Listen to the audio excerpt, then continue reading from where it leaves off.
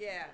It's, it's so much different out Yeah, the yeah the the moisture is penetrating the wood and this these sensitive instruments and especially mine here the hardanger hardanger fiddle that has uh, nine strings and it's very sensitive. So let's see what's doing it. The bowmat here.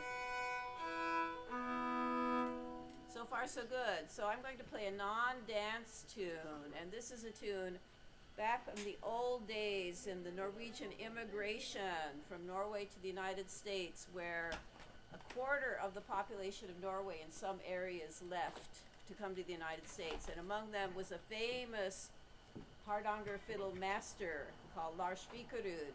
He came to the United States to earn his fortune, and he toured playing this instrument, not this particular one, but one very much like it all over the upper Midwest, and he earned the equivalent of the modern day equivalent of, of uh, thousands and thousands of dollars playing for the homesick Norwegians that had emigrated and lost contact with their homeland forever.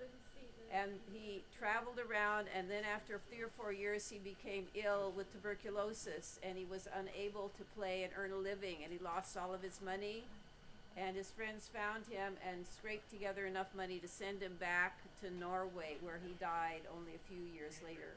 But his legacy lives on, and one of the most famous tunes that he composed is called Fykerud's Farewell to America.